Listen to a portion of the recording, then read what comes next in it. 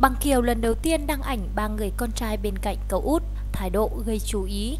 Mới đây nam ca sĩ Bằng Kiều đã chia sẻ hình ảnh năm bố con cùng nhau đi chơi, ăn uống ngay sau khi nam ca sĩ trở về Mỹ.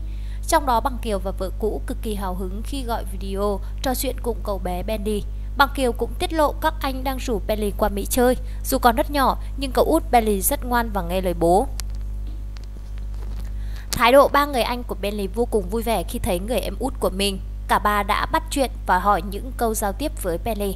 Vào ngày 9 tháng 6 vừa qua, công chúng ngỡ ngàng khi bằng Kiều tiết lộ việc anh đã có cậu con trai thứ tư với bạn gái mới. Tuy nhiên, nam ca sĩ lại vô cùng kín đáo khi không tiết lộ thông tin liên quan đến bạn gái mới.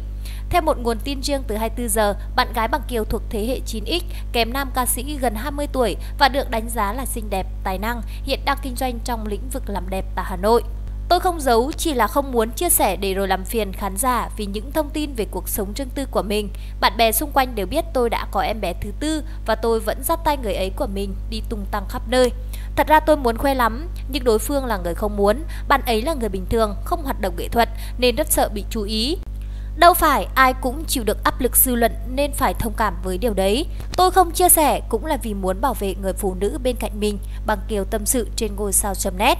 Sau khi ly hôn với Truy Di Phương Trinh, Bằng Kiều vẫn cùng cô giữ mối quan hệ tốt đẹp và cùng nhau nuôi dạy các con. Anh cũng cố gắng thời gian rảnh rỗi để được gặp các con và mua tặng những món quà đắt đỏ.